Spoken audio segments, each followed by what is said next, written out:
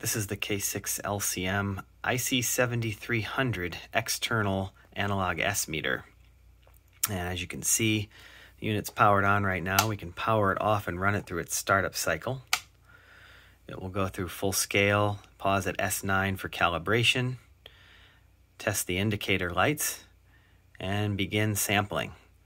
Uh, you can see that the analog S meter tracks perfectly with the digital on-screen S meter down here tuning around will change the S meter, pull in a signal and it pops up. Um, also the indicator lights, if we go through the power setting here, can help with calibration and uh, of power levels. Right now at 0% power out, the lights are off.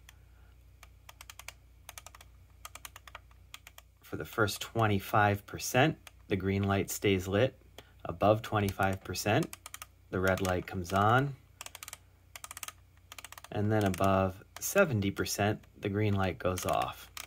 I've set these ranges in particular for tuning my Heathkit. I like to tune the Heathkit initially no higher than 25%. I like to operate it no higher than 70%.